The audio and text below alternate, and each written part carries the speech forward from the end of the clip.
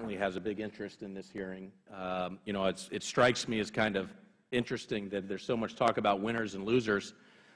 Um, how about uh, how about the people in Southwest Florida where there isn't an um, automobile manufacturer uh, who feel like uh, uh, the car industry was chosen over maybe some of the businesses that they were in? So it's an interesting conversation. But it, my questions are going to go to you, Mr. Bloom.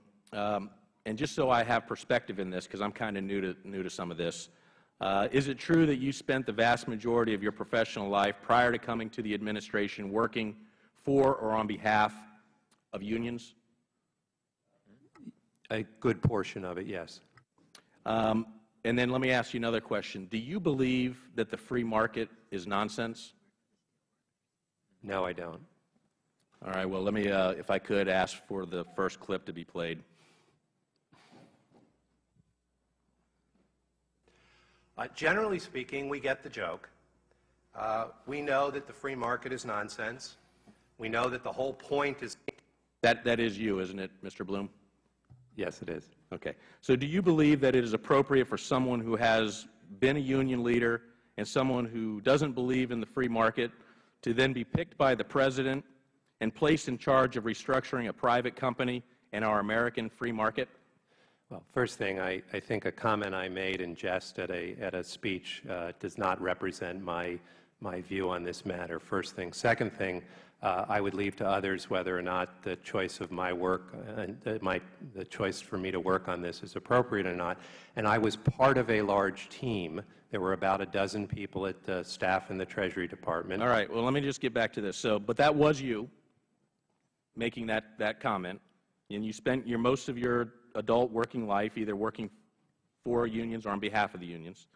Uh, and I believe that you gave a speech uh, in 2006 in front of the International Association of Restructuring, Insolvency, and Bankruptcy Professionals, Arizona, in Arizona, in which you described um, a, a bargaining technique, the dentist chair bargaining technique. Can you describe to us what the dentist chair bargaining yeah. technique is? Yeah, I, again, in, in a lighthearted speech, I indicated I thought it was important that all parties to the bargain have skin in the game in order to produce the best result. What is the, what is the dentist chair technique?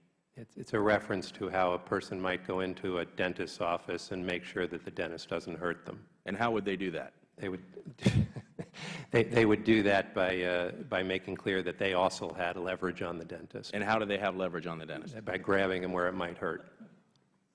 So you, you think the free market is nonsense? I didn't say that, Congressman. Well, we, okay. Well, I guess people I, I can people can comment.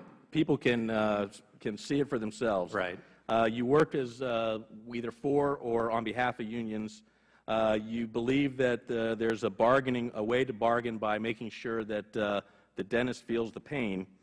Um, do you think that well, let me, let me say this. Uh, there, there are some people who might disagree with your approach. Would you agree with that? There were a wide variety of views on the task force about how to best carry this out. There were people in the task force who'd had experience on nothing but the business side of the House. There were those of us who'd had some more experience on the union side of the House. We all worked together and came to a consensus of the best way to do this. All right, let me, let me, add, took me, it forward me, to our principles. If, and, if we and could, we're going to we're going to play another clip here for you and, and tell me if tell me what you think of this.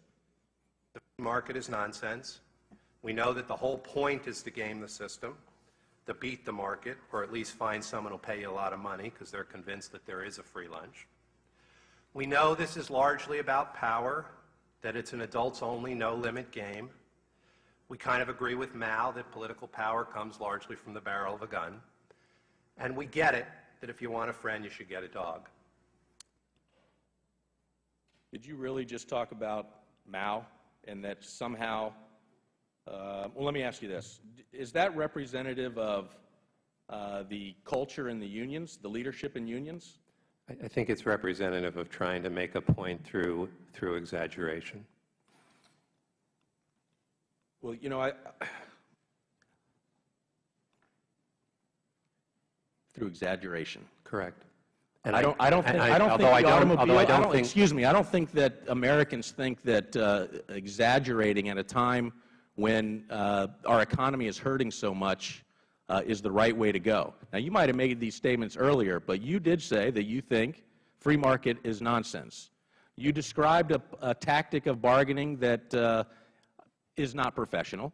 Uh, you also uh, talk about Mao and how political com- uh, uh, getting things done is at the end of a barrel. Um, do you think that maybe it was a mistake that you were put in a position in the first place to be part of any kind of restructuring of anything in a, the American free market? Uh, That would be for others to judge. Who, who, uh, where did you get, how did you get into that position? Uh, I was asked to serve by people at the Treasury Department. Was, was President, did President Obama pick you to serve? I, I do not know what the President's role was in the choice. Thank you, Mr. Chairman.